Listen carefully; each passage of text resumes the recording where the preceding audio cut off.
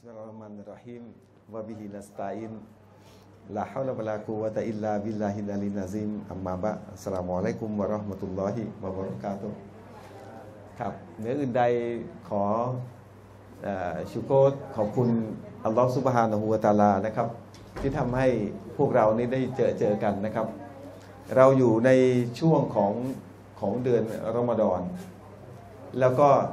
เป็นช่วงที่เกือบกลางๆ นะวันที่น่าจะวันที่ 13 ใช่ไหมฮะครับ แล้วก็อีกไม่เท่าไหร่แล้วนะครับรอมฎอนจะจากเราไป ก็ผมว่าพี่น้องที่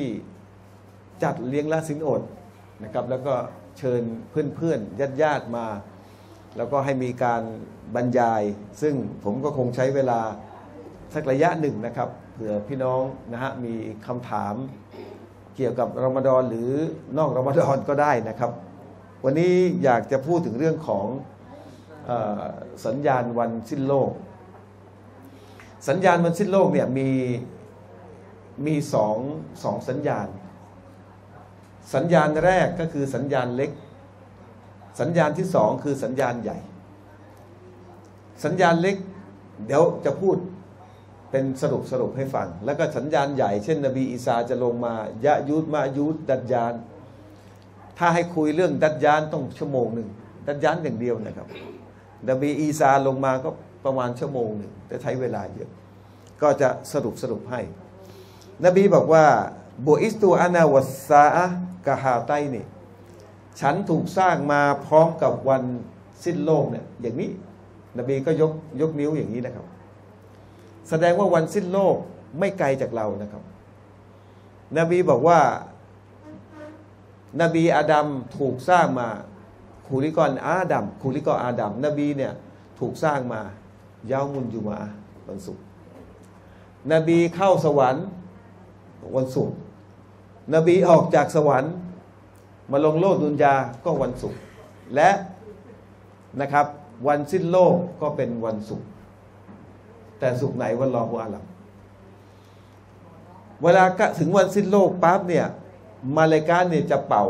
นบีบอกว่าที่เป่าของมาเลกาเนี่ยคล้าย ๆ เขาควาย เขาควายนะครับ นบีบอกว่า อันตุมพวกท่านทั้งหลายเนี่ยอันอามามีความสุขอยู่ได้อย่างไร ในขณะตอนนี้ เดี๋ยว คนที่ทำมาเลกาที่ทำหน้าที่เป่าสังพี่ต้องทราบไหมครับ ชื่ออะไร ถ้าสอบสวนเราในในกูโบสมุงกัสนาเกตนำวะฮีมาให้คือยิบลีนอ่ายิบลีนคนที่อยู่กับเราเลกาที่อยู่กับเราคือกอรีนนะฮะแล้วก็มาเลกาที่ทำการเป่าสัญญาณในวันสิ้นโลกเนี่ยก็คืออิสรอฟีน นบีบอกว่าอิสรอฟีนเนี่ยอมลักษณะที่เป่าคือเขาควาย แล้วก็ทำปาก พองๆเพื่อที่จะเป่าลม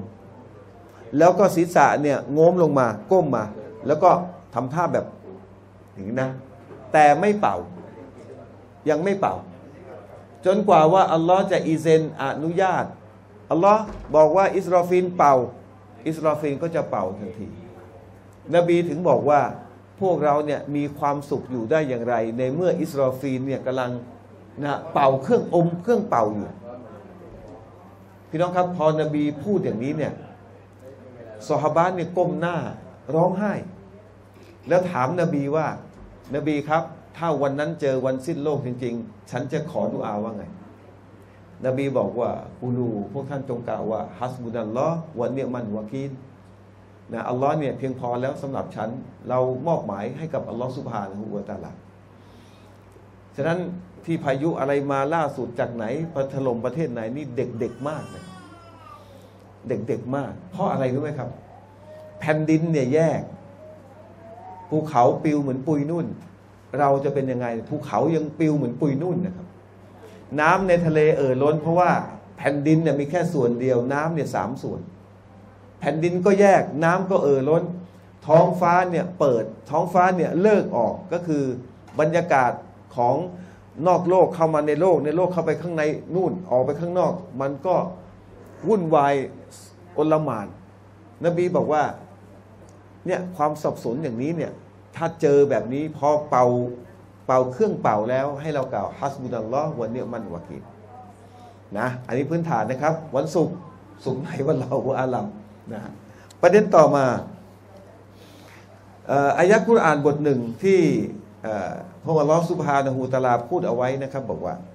ว่าไมยะมันมิสกอละซารตินคอยรอยยรอดังนั้นบุคคลใดก็ตามที่ทำอามันมิสกอละซารตินเท่ากับเมล็ดผักกาดอนูเดียวเนี่ย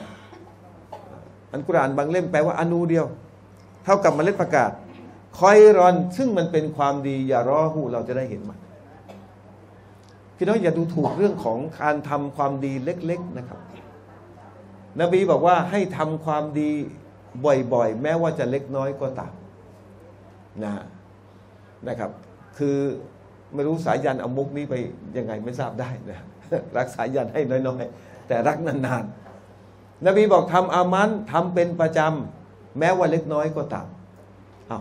พี่น้องอ่านผมแนะนำนะ พี่น้องอ่านกุรอานไม่ต้องเยอะนะวันสามสี่อายะ แต่ขอให้อ่านทุกวัน กับการที่เราอ่านห้าญุซแล้วเว้นไปอีกสามเดือน ใช่ไหมอ่านเลยสี่ญุซห้าญุซแต่เว้นไปนู่นครึ่งปี แต่เราอ่านสามอายะสี่อายะ แต่อ่านทุกวันอ่านทุกวัน วันนี้เมืองไทยเราอัลฮัมดุลิลละตัฟซีดที่อันดับหนึ่งของโลกนะครับ คือตัฟซีรอิบนุกะซีรถูกแปลเป็นภาษาไทย พี่น้องสามารถอ่านทำความเข้าใจตรงไหนขีดเส้นใต้แดงวงได้อะไรได้ เพราะ เป็นตัฟซีรซึ่งไม่ใช่มุศฮัฟที่เป็นกุรอานที่เป็นภาษาอาหรับอย่างเดียวตัฟซีรคือมีคำภาษาอาหรับหรือภาษาไทยภาษาอังกฤษภาษาอื่นอธิบายด้วยนะนบีบอกว่าفمن يعمل مثقال ذرة خيرا يره มาดแม้นว่าใครก็ตามทำความดีเพียงอณูเดียวมเมล็ดผักกาดยารอหูขอโทษนะยารอหูเขาจะได้เห็นมันในวันกิยามะพี่น้องอย่าคิดว่าการบริจาคแค่บาทสองบาทจะ แต่ว่าเล็กน้อยนะครับ ผมเล่าให้พี่น้องฟังผมตอนนั้นสร้างอาคารที่พักคนเดินทาง ไม่ใช่นะครับ ที่สร้างอาคารมูซอลลากับที่สอนหนังสือ ผมไปคุตบะ ไม่ใช่คุตบะไปไปไปละหมาดแวะไปละหมาดที่ที่ทับช้างนะครับ ดารุนนาอีมนะแต่ผมจะไม่ผิด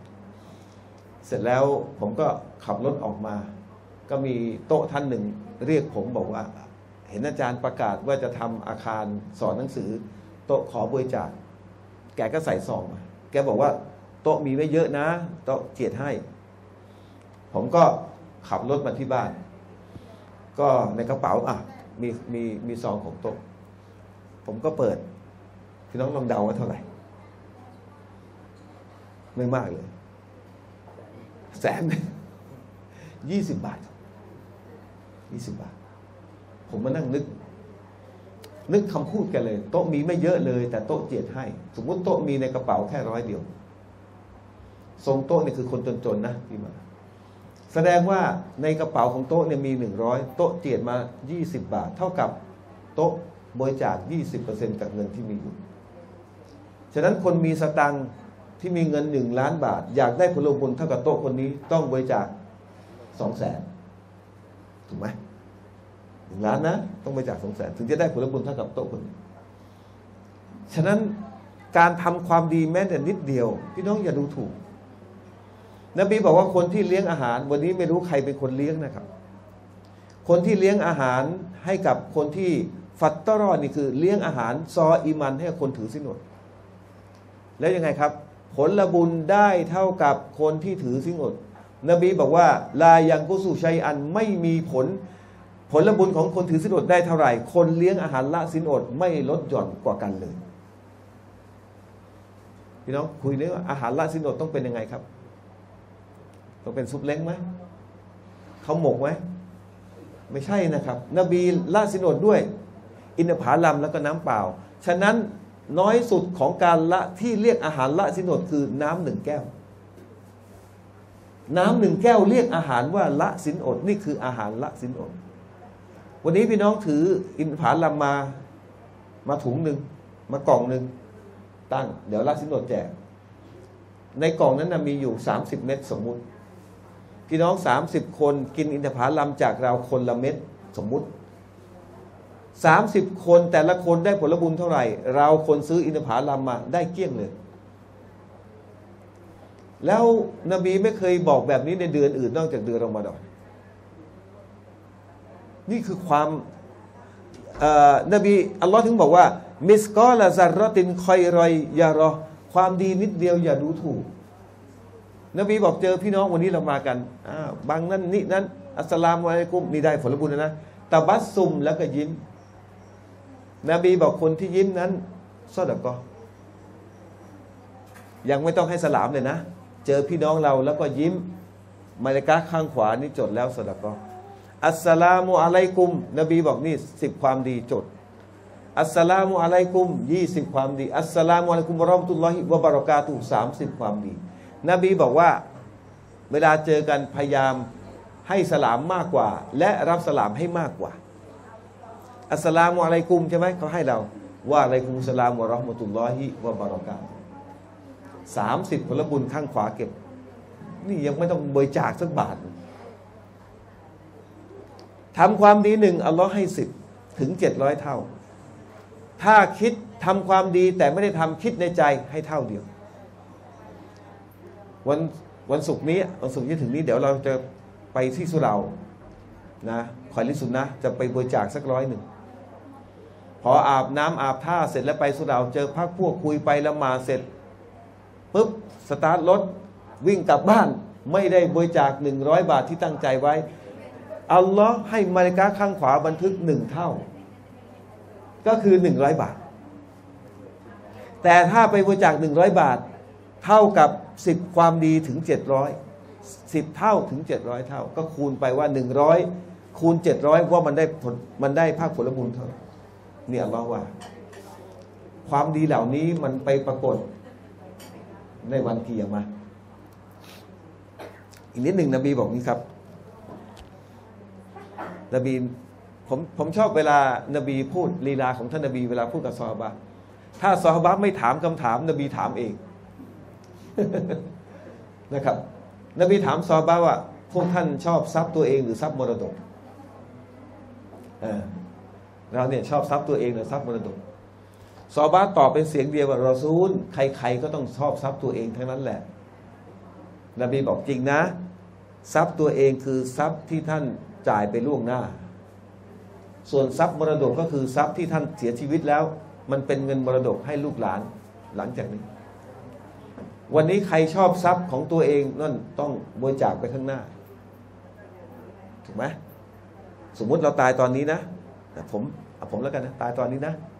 กระเป๋าตังค์ผมมีเท่าไหร่ก็ตาม เป็นของผมหรือของมรดก สตังค์ที่อยู่ในธนาคารเป็นมรดกหรือของเรา ของมรดกของเราคือนบีบอกให้สระกอไปล่วงหน้าก่อน วันนี้วันนี้คนที่ทำอาหารมาเลี้ยงเนี่ย คือคนที่ใช้จ่ายไปล่วงหน้า เป็นทรัพย์ของตัวเอง ให้ดีใจ ไม่ว่าจะเอาน้ำมาให้ เอาอินทผทรัพย์ของตัวเองให้ไปแล้ว นบีท่านหญิงไอชักนะครับ ได้ทำอาหาร หรือเชือดแกะเชือดแพะก็ทำอาหาร ก็สอดก้อหมดเลย เหลือไว้ให้นบี แล้วก็เป็นเป็นเป็นช่วงของเท้าของแพะนะเหลือเนี่ยพอนบีกลับบ้านปั๊บท่านหญิงอาชายกมาบอก นบีจ๋าฉันเนี่ยได้ทำสดก้อให้เขาไปหมดแล้ว เหลือถ้วยเดียว ให้นบีทาน เหลืออยู่ถ้วยเดียว นบีบอกไอชาเอ๋ยสิ่งที่เธอสดก้อนนั่นนะของเหลือ แต่ที่อยู่ข้างหน้าฉันคือของไม่เหลือหมายความว่าไงก็นี่เนี่ยจะกินไงกินเข้าไปส่วนหนึ่งเป็นมูล อีกส่วนหนึ่งก็ทำให้ร่างกายแข็งแรงนี่คือของที่ที่ที่ที่มันเหลือเหลือ แต่ที่ไม่ที่ของไม่เหลือมันจะสูญสลายไป แต่ของเหลือก็คือที่เธอเชือดแพะเชือดแกะ และปรุงเป็นอาหารแล้วแจกจ่ายคนข้างบ้านญาติพี่น้อง นั่นแหละของเหลือในวันเกียรรอวัก วันนี้เจออาจารย์ชูโกตที่ศิลปะวัฒนาอาจารย์ผมก็ถามว่าเป็นไงรายได้บริจาคที่จะเต็มเขาบอกดีคนมาเรื่อยๆ ล่าสุดจะหมดรายการแล้วแล้วมาหนึ่งแสนบาทอาจารย์ชูโกตเขาเลยบอกว่า สังคมเรายังเป็นสังคมแบบนี้อยู่นะสังคมที่มีการเอื้ออาทรอยู่ สังคมที่มีการมีจิตใจที่อยากอยากช่วยเหลือ อยากแบ่งปันยังมีอยู่ ผมเข้าใจเลยนะครับว่าทำไมคนอดีตเขามีอีหมานมากกว่าเราในเรื่องนี้สดกอวากัฟที่ดินร้อยไร่เดี๋ยวนี้ถ้าจะวากัฟที่ดินร้อยไร่เนี่ยลูกสกิดแล้วนะลูกสกิดแต่นั่นคือของปะที่มันถาวร เพราะปะจ่ายไปล่วงหน้านี่คือทรัพย์ของปะส่วนทรัพย์ที่ปะทิ้งเอาไว้นั่นคือเงินมรดก ฉะนั้นอัลลอฮ์บอกว่าทำความดีนิดเดียว ยารอฮูจะได้เห็นมันในวันเกียร์มะนี่คือสิ่งที่เป็นนัยยะว่าไมยะมันมิสกอลาซารตินชัรไรยารอแล้วใครก็ตามที่ปฏิบัติสิ่งที่เป็นความไม่ดี แม้ว่าอนูเดียว เท่ากับเมล็ดผักกาดยารอฮูจะได้เห็นมันในวันเกียร์แต่อิสลามนี่พี่น้องอัลลอฮ์เนี่ยเราอย่า อย่าสิ้นหวังในความโปรดปรานของอัลลอฮ์อัลลอฮ์เนี่ยรอห์มานจริง ๆ นะครับอัลรอห์มานนี่รอฮีมความชั่วทำความชั่วหนึ่งอัลลอฮ์บันทึกแค่หนึ่งทำความดีหนึ่งให้สิบเท่าถึงเจ็ดร้อยเท่า แต่ความชั่วทำผิดหนึ่งบันทึกแค่หนึ่งแล้วนบีบอกว่าทำความชั่วแล้วเนี่ยมาเลกาข้างซ้ายยังไม่บันทึกจนกว่าจะรอให้ถึงหกชั่วโมงแล้วก็เจ็ดชั่วโมง เผื่อว่าคนทำความผิดจะได้ เตาบ้าตูนกว่าที่เราจะถูกบันทึกความชั่วได้เนี่ยต้องรอให้เราสำนึก บางฮะดิษบอกเจ็ดชั่วโมง บางฮะดิษบอกหกชั่วโมงนั้นเราจะลงนรกของอัลลอฮ์เนี่ยยาก แต่ใครที่ไปลงนรกของอัลลอฮ์นี่ผมอะสุดยอดแล้วล่ะครับ สุดยอดนะพี่น้องรู้ไหมครับว่า เวลาเราจะเดินผ่านซิรอตอนมุสตะกีม ผมมีโอกาสไปพูดถึงบรรยากาศของวันกียามะนะสภาพวันกียามะที่สงขาก็ไปอ่านฮะดิษบทหนึ่ง เวลาเราเดินผ่านเรารวมตัวกัน แล้วก็จะผ่านซิรอต้นมุสกีมซึ่งไปสวรรค์นบีบอกว่าสะพานซิรอต้นมุสตะกีมบางยิ่งกว่าเส้นผม ลื่นยิ่งกว่าน้ำมัน และคมยิ่งกว่ามีดดาบ นี่คือสะพานซิรอที่เราทุกคนต้องเดินผ่าน ลองฝั่งนู้นก็มีคลองนะเราลองบางชุกลองเอาสักวันหนึ่งนะครับ หาเชือกอะไรก็ได้ครับ ที่มันบางกว่าเส้นผม แล้วก็เอาน้ำมันทา แล้วก็อาจจะมีอะไรที่มันเป็นน้ำหนามเราจะเดินไปฝั่งนู้นได้ไหม แต่นบีบอกบางคนผ่านฉลุยเหมือนเหมือนเหมือนเหมือนพายุครับ เพราะเราเดินด้วยอีมานเราเดินด้วยอามัน พี่น้องวันนี้อะไรก็ช่างครับ เรายุ่งเรื่องของเราให้เยอะ ยุ่งเรื่องของอื่นให้น้อย เพราะว่าอามันเนี่ย เราต้องเก็บเยอะๆนะครับ ยังอยู่ วันนี้ผมไปผู้ที่ศิลปะวัฒนาตอนเช้าสามมัสยิดแถวนั้นมีมัยิดทั้งสามเลย อินนาลิลลาฮิวะอินนาอิลาฮิรอยูนคำนี้เนี่ยเยอะมาก ผมขับรถขับรถไปบรรยายเช้าเนี่ยนะฮะรายการ 24 ชั่วโมง ช่ไหมของของอะไรมณสุบินนะครับ อินนาลิลลาฮิวะอินนาฮิรพูดไม่รู้กี่ไมยิดนะขับรถไปเราก็นึกถึงเออนี่เขาไปกันล่วงหน้าหลายคนนะบางคนก็อายุยังน้อยๆอยู่ แต่เราเรียกกลับไป วันนี้เนี่ยเรานะยังมีชีวิตอยู่ทำอามันเยอะๆครับ นบีบอกว่าซาบิกูอิลามักฟิรติมเมรบบิกุลสู่เจ้าทั้งหลายจงแข่งขันไปสู่การขออภัยโทษ จงแข่งขันกันสู่การอภัยโทษในคืนหนึ่งเขาเรียกคืนไลละตุนกอสิบคืนสุดท้าย นบีบอกว่าจะมีคืนหนึ่ง ท่านหญิงไอช้าถามนบีบอกว่า นบีคะถ้าเกิดฉันเนี่ยเจอคืนไลละตุนกอดเนี่ย ฉันจะขอดูอาว่าอย่างไร ถ้าถ้าพูดพูดนั่งนั่งในใน นั่งแทนท่านหญิงไอชาหรือเราเป็นคนคนถามท่านท่านนบีนะเราก็ต้องคิดว่าท่านนบีต้องตอบว่าเออให้เรารวยนะเออให้เรานั้นยังคงสภาพร่างกายแข็งแรงยังสวยเหมือนเดิมอ่าจะขอให้มีลูกหลานที่สอนและขอนู่นขอนี่น่าจะเป็นแบบนั้น แต่นบีกับสอนให้ท่านหญิงไอชาบอกว่าอัลลอฮุมะอินนะกะอาฟูนตัวฮิบุนอัฟวะฟะฟูอันนีโอ้อัลลอฮ์พระองค์ทรง อินนกะอาฟูนพระองค์ทรงอภัยยิ่ง ตัวฮิมตัวฮิบุนอัฟวะและอัลลอฮ์ทรงรักการอภัยฟะฟูอันนี้ขอพระองค์ทรงอภัยให้กับฉันด้วยเถิดพี่น้องจำไว้เลยนะครับว่า วันกิยามะที่เราต้องการเรื่องเดียวคืออัลลอฮ์อภัยโทษให้เรื่องเดียวที่เราต้องการขอจากอัลลอฮ์คือเรื่องนี้ วันนั้นทรัพย์สินที่อยู่บนโลกดุนยาพาไปไม่ได้ครับ ที่ดินจะมีเท่าไหร่ สตังมีเท่าไหร่พาไปไม่ได้ ตอนนี้พาอย่างเดียวคืออามันของเราแล้วก็วิงวอนต่ออัลลอฮ์ให้อัลลอฮ์อภัยโทษให้แก่เราคือไลละตุนก้อดเนี่ยมีความสำคัญมากกว่า 83 ปี มากกว่านะทำอามันอ่านยืนละหมาดสองรากาศเท่ากับละหมาดมากกว่า 83 ปี นั่นแสดงให้เห็นว่าคืนเดียวเนี่ยมีคุณค่ามากมหาศาล ฉะนั้น นบีน่าจะให้ขอให้รวยขอให้เยอะ แต่นบีกลับให้เราขออภัยโทษ เพราะคำว่ามักฟิรอการไปสู่การขออภัยโทษเนี่ยเรื่องเดียวที่ทำให้เราเข้าสวรรค์ผมอ่านในฮะดีษบทหนึ่งนบีได้รับอนุญาตให้ชาฟาอะชาฟาอะนี่หมายถึงว่าไถ่โทษไถ่โทษขนาดว่ามุสลิมคนหนึ่งเนี่ยถูกลงโทษในนรก นบีมุฮัมมัดสุลลัลฮุอะลัยฮิวะสัลลัมของเราสามารถขอดุอาต่ออัลลอฮ์ยาอัลลอฮ์ฉันขอชาฟะ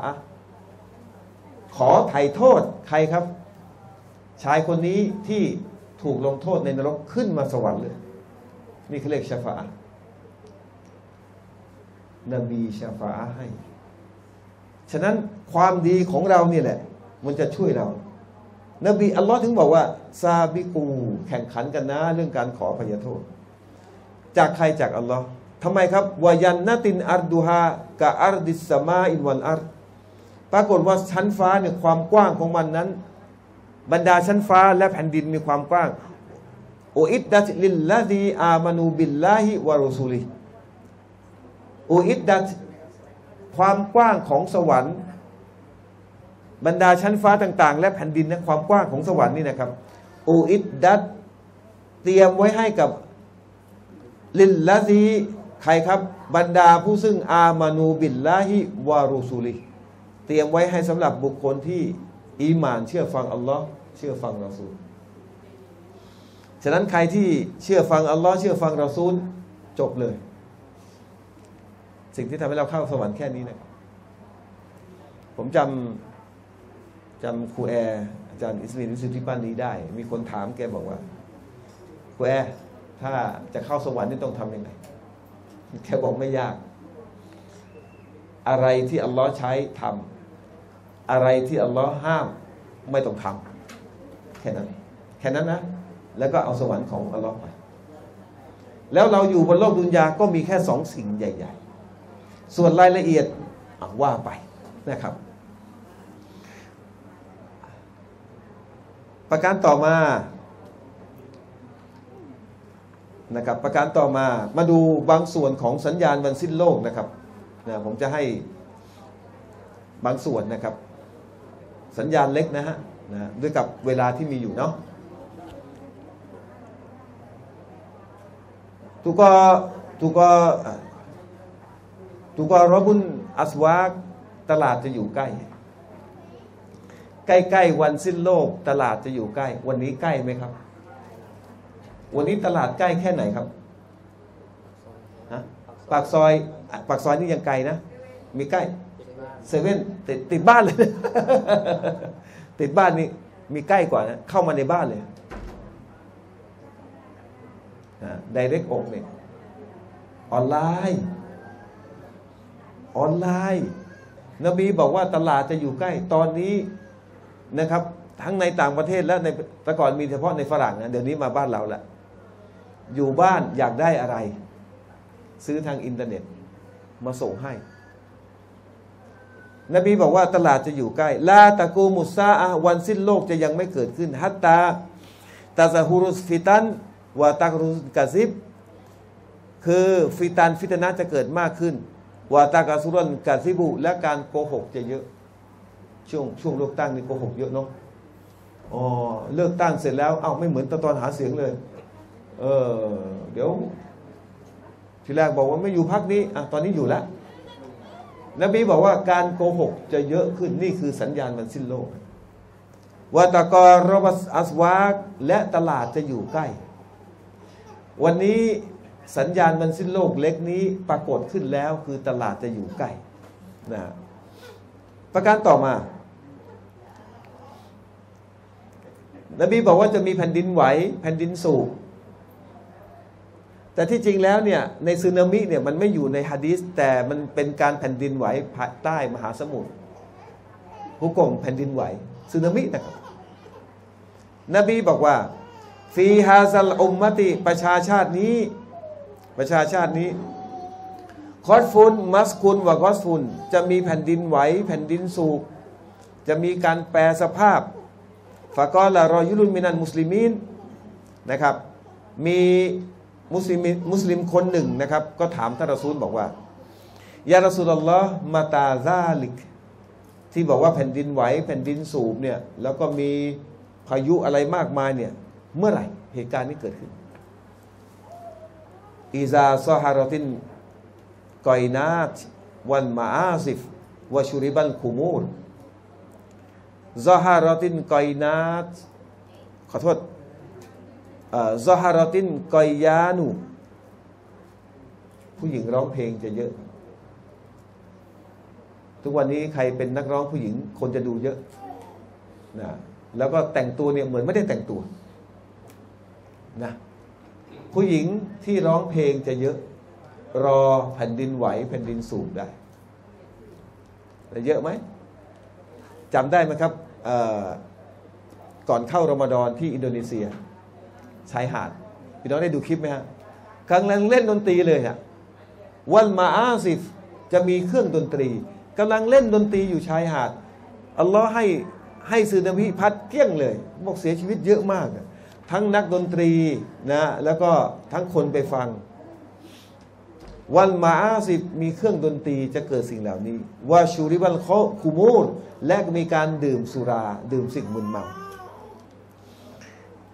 มีช่วงนี้เขารณรงค์ให้ให้ปลูกกัญชาใช่ไหม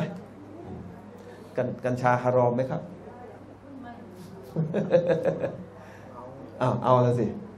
เนี่ยตอนนี้เขารณรงค์กันพยายามที่จะให้กัญชาฮาลาลไว้ง่ายๆอินุตัยมียะบอกว่าอิหม่ามอินุตัยมียะบอกว่า ใครบอกว่ากัญชาฮาลาล ใครใครพูดว่ากัญชาฮาลาลเนี่ยเขาถึงขนาดถึงสภาพมุตตัดเลยด้วยซ้ำตกมุตตัดเลยด้วยซ้ำนี่ฟัตวาของของอินุตัยมียะนี่หนักมากนะครับ กุลลุคอมริน กุลูมุสกิรินคอมรุนว่ากุลูคอมรินฮารอมุน ทุกสิ่งที่มึนเมาเรียกว่าคอมรุน และทุกๆคอมรุนเรียกถือว่าฮารอมฉะนั้นไม่ว่าจะเป็นยาเสพติดชนิดไหนก็ตาม อันนี้ถือว่าฮารอม บุรีด้วยนะครับ อันนี้อันนี้บุรีด้วย อันนี้อันนี้นี่เอกฉันคืองี้บ้านเราเนี่ยเคยถูกถามโต๊ะครูในอดีตบอกว่าบุรี่ฮุกกว่าอย่างไรเขาบอกบุรีบุรี่ฮุกกว่ามักกะโรมักกะโรเนี่ยควันมัน แต่ตัวของบุรีเนี่ยตัวของบุรีเลยนะฮะนั่นคือฮารอม แล้วพี่น้องที่เขาทำบุรีแบบแบบทำเองนะครับ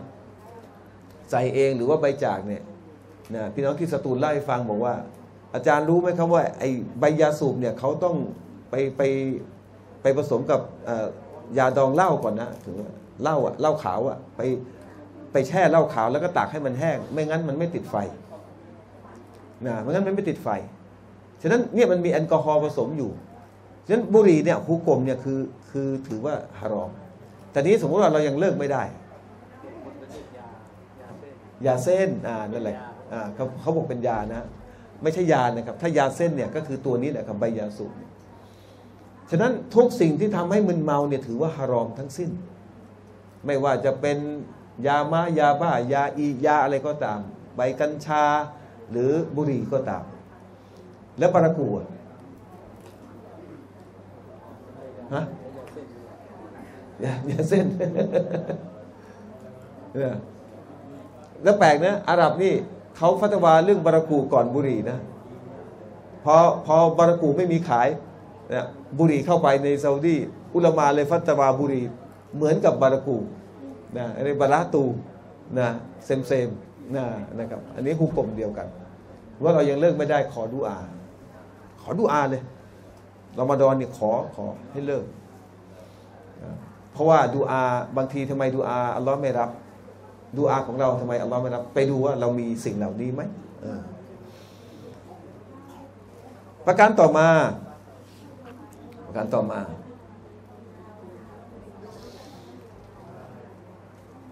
ซิฮาบุซอลิฮีนคนซอลและจะหายไปทีละคนทีละคนคนวะเราะห์ครับ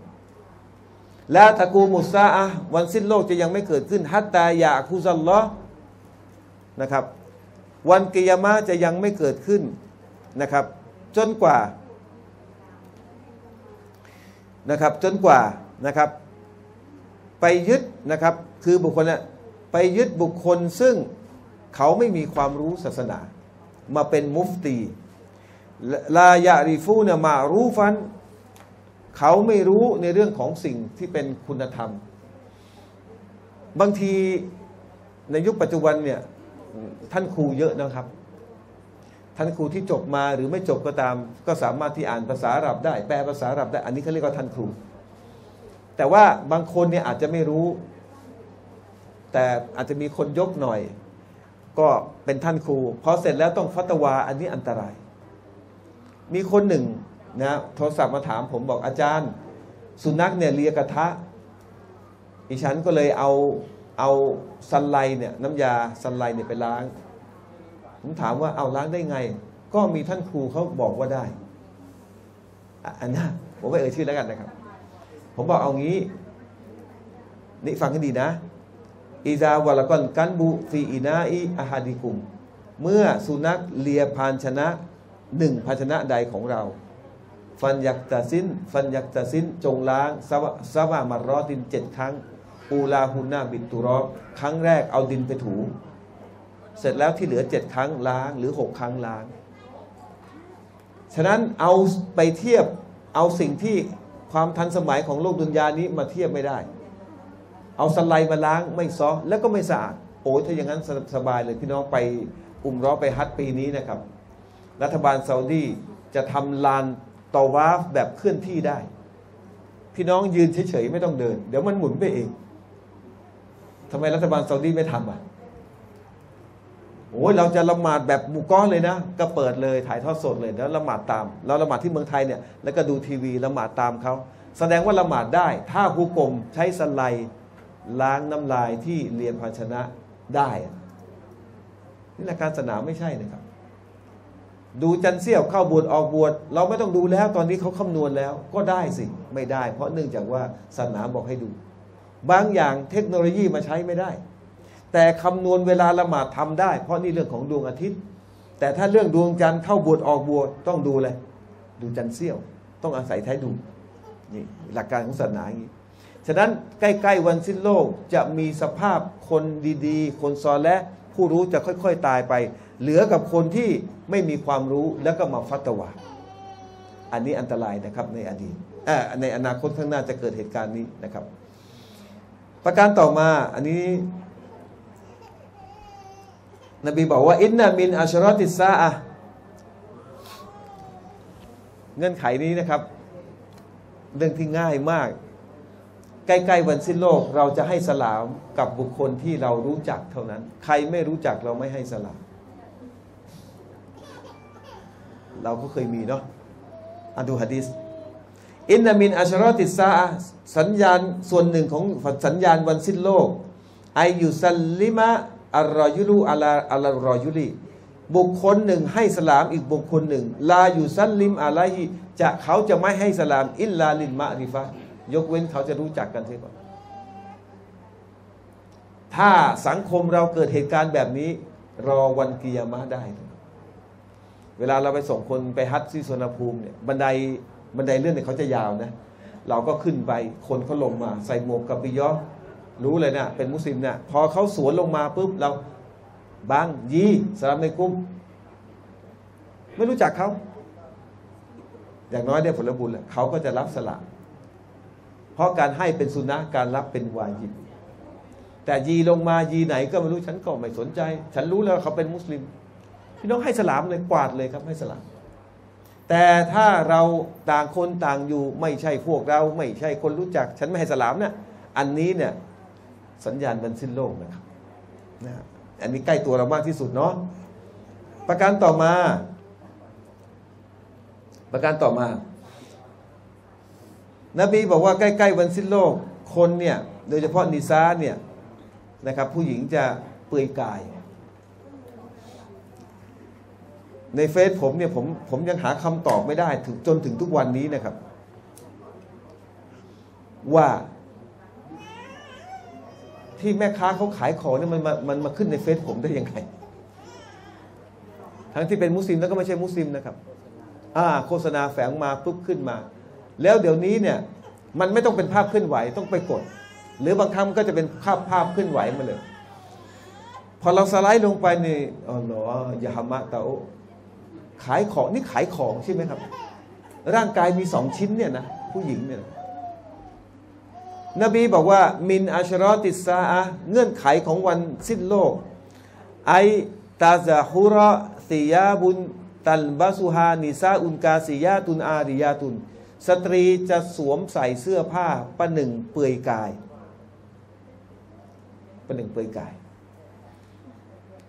เปลือยกายนี่เอาใหม่ อันนี้มุสลิมก่อนนะในความเคารพนะครับ มุสลิมเนี่ยที่จะเรียกเอาร้อนเนี่ยมีเงื่อนไขยังไงครับ ที่เรียกว่าเอาร้อนหนึ่งต้องไม่รัดรูปสองผ้าไม่บางจนจนเห็นสีผิว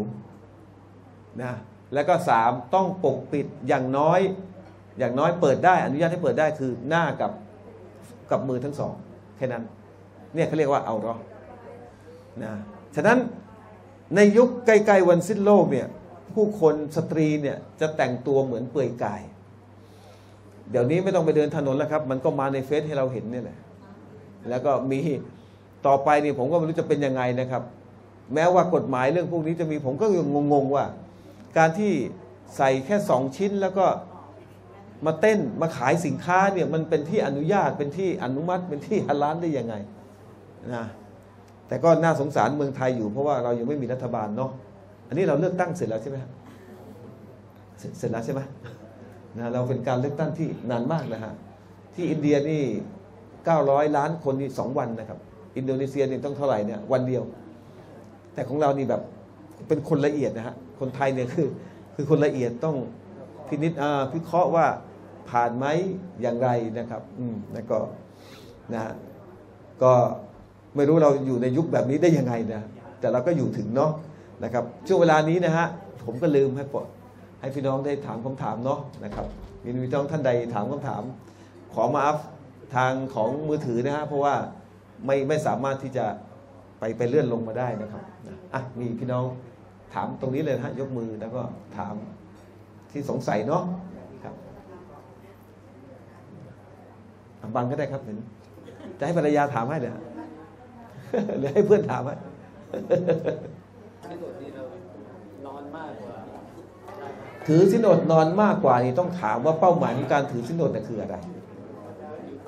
ละอันละกุมตัตตะกูล อะไรที่มันทำให้เกิดความยำเกรงนั่นแหละ เราต้องทำกลางวัน อันนี้โดยเฉพาะกลางวันนะครับ กลางคืนยังไม่เท่าไหร่นะ กลางวันเนี่ยควรที่จะมีเช่น อ่านหนังสือศาสนา อ่านคุราน หรือว่าดูรายการทีวีดาวเทียมมุสลิม แต่การนอนมากไม่ไม่ไม่เข้าเป้าของการถือสินอด เพราะว่าเวลาเรานอนเนี่ย คือถ้าเราถือสินอดแล้วเรานอนเนี่ย ถ้าอย่างนั้นเราถือสินอดเป็นปียังได้เลย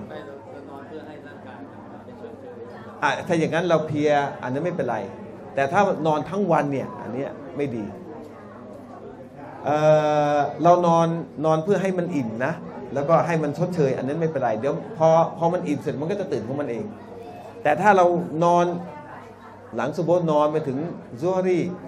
พอซัวรีเสร็จนอนไปถึงอาซัดอาซัดนอนต่อไปถึงลาสินอด อันนี้ก็ก็ไม่ได้เป้าหมายของการถือสินอดเยอะไปนะอ่าได้หลังซุรีถึงอาซัดอ่าได้อ่าอย่างนั้นก็ยังยังพอได้ยังพอทำเนานะครับนี่ก็รอเวลาแล้วก็ เดี๋ยววันนี้ที่นี่มีละหมาดตะรเวียนะครับ โดยอาจารย์ ยะฟัดเรื่องพิทักษ์นะครับในการละหมาดตะเรเวียดูอาก่อนละสินอดเนี่ยพี่น้องถามบอกว่าละสินอดไปแล้วให้กล่าวหรือกล่าวก่อนนะครับ ที่ซอเฮียเนี่ยคือกล่าวก่อนครับกล่าวก่อนทานนะครับซาฮาบะซอมาอูเนี่ยบางคนนะครับไม่ไม่ใช่ฮะนะครับไม่อะอันนี้จะอธิบายให้ฟังเลย นบีบอกว่าเป็นดูอาก่อนละสินอด พี่น้องก็ตั้งคำถามว่า เอ้า อาจารย์ ก็ในสำนวนบอกว่าซาฮาบะซอมาอูความกระหายได้หมดไป แสดงว่ามันต้องกินก่อนและกาวเอาไปดูในอายะกุรานอัลลอฮ์บอกว่าอากีมุสลาพวกท่านทั้งหลายจงละหมาด โดยการอาล้างหน้านะล้างล้างหน้าล้างมือถือข้อศอกเช็ดศีรษะแล้วก็ล้างเท้า ถ้าใช้ไวไวยากรณ์อาหรับ อายะนี้ต้องแปลว่า พวกเท่าสู่เจ้าทั้งหลาย เมื่อละหมาดเสร็จแล้ว ให้ไปอาบน้ำละหมาดอันนี้ภาษา ฉะนั้นซาฮาบะซอมาอูเป็นด้านภาษาไม่ใช่ไม่ใช่เรื่องของชริอะห์อ่าผมก็ฟังจากคณาจารย์เหรอก็ว่าให้บิสมิลลาห์แล้วก็ทานเสร็จแล้วแล้วเสร็จแล้วพอทำเสร็จพักก็ได้จากบ้านไม่ได้ครับซาฮาบะซอมาอูเนี่ยก่อนละสินอด เนี่ยนะตั้งปุ๊บพออาจารย์ปุ๊บซาฮาบะซอมาอูวัตันละตินอูรุกูวะซาบะตันอัจรุอินชาอัลลอฮ์หยิบอินทผลัมเข้าปากก่อนเข้าปากบิสมิลลาห์ต้องเป็นต้องเป็นแบบนี้ใช่ครับสเต็ปแบบนี้นะครับก็แล้วก็ไม่มีแล้วไม่มีละไม่มีแล้วครับแล้วก็ดูอาก่อนที่จะตัวที่จะตกมีไหมดูอาก่อนดวงอาที่ตกไม่เจอนะครับ มีมีเหรอฮะไปเจอที่ไหนฮะที่เราถือที่หนดอยู่นะแล้วก็ก็เลยเขาบอกว่าอ๋อใกล้ๆจะอ๋อเข้าเข้าใจครับ นบีบอกว่า ดูอามุสตยาบเนี่ยดูอาของคนที่ถือสินอดเนี่ยจะจะถูกตอบรับเขาเรียกว่าเป็นดูอามุสตยาบอัสซออิมฮัตตายุฟติรอคนถือสินอดจนกระทั่งเขาจะละสินอดตอนเนี้ยช่วงเวลาอย่างเนี้ยสิบนาทีห้านาทีเนี่ยขอใกล้ใกล้ๆเนี่ยอย่าลลอขอเพิ่มพูนริสกีอย่าลลอขอให้ครอบครัวฉันมีว่าไปเลยนะครับก่อนที่เราจะละสินอด ครับ นี่นี่นะจะเป็นอย่างนี้ ยิ่งโดยเฉพาะเมื่อวานนี้เป็นวันวันศุกร์เนี่ยสองสองเด้งเลยนะสองเด้งเลยนะอ่าสองเด้งเลยนะ ใช่ใช่สองเด้งเลยครับใช่เลยทำดีล้านเลยเลยครับ คือเอ่อสิ่งหนึ่งที่ที่มาควบคู่กับการถือสินอดก็คือการขอดุอาอันนี้เรื่องที่ที่เราจะต้องเข้าใจเลยนะครับ เป็นเป็นเรื่องที่มาเป็นเรื่องเรื่องที่เราต้องขอดุอา เรื่องเราต้องต้องวิงวอน ยกมือไม่ไม่ใช่เงื่อนไข ยกมือไม่ใช่เงื่อนไขไหมแล้วขอดูอาการขอดุอาในการยกมือจะดีกว่าไหมไม่ดีกว่า ไม่ดีกว่า แต่ถ้าใครยกไม่มีปัญหายกได้ เพราะว่าให้ให้ใจให้อาใจเนี่ยมุ่งตรงต่ออัลเลาะห์ทีนี้ในบางสถานที่ที่นบียกเราก็ยกพักก่อนนะ อ่านะฮะ ก็ยาซากัลลอฮ์สำหรับพี่น้องทุกท่านนะครับ อินชาอัลลอฮ์เดี๋ยวเราละสินอดกัน แล้วก็ละหมาดมักริบครับยาซากัลลอฮ์ครับแล้วก็แล้วเราก็ทานอาหารหนักเนาะนะครับ แล้วก็ได้รวมละหมาดตะเราเวียแต่ผมนี่ของขอมาอัพว่าผมต้องไปที่ศูนย์กลางไปไปบรรยายต่ออาหารเบาก่อนอาบันอ่าต้องต้องจริง ๆ แล้วสูตรเนี่ยต้องทานอาหารเบาก่อนนะที่นี่ผมไม่รู้ทานยังไง เบาก่อนนะเพราะอย่างนั้น มักริบจะล่า และที่สำคัญลุกไม่ขึ้นนะฮะนะครับเอาไว้เพียงแค่นี้นะครับอัลลอฮฺตอฟิกวันฮิดายะสลามุอะลัยกุมวะราะห์มุตุลลอฮิวะบะเราะกาตุฮ์